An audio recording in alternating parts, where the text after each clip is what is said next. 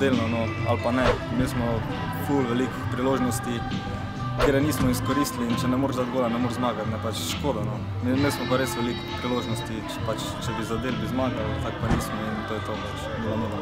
Vsi smo pričakovali zmago, zmago bi se pri, pač, bi še bliže vrhu, tako pa smo pač, ne nismo dali gola in ostali, ostali tri točke. Ne. Tako da pač, mislim, da s tem ne moramo biti nekaj preveč zadovoljni. Ja, ja, oni so igrali zelo zaprto, ampak smo si vseeno lahko ustvarili veliko priložnosti, pač to pomeni, da smo res dobro ene dosti krat izigrali, ampak pač, kot sem že rekel, nismo zadeli in je ostalo pri 0-0. V redu, no, mislim, da sem v redu odigral, ampak pač, če trener reče, da to odigram, bom odigral, ni problema. Ne, ker, v redu, no, sem zadovoljen.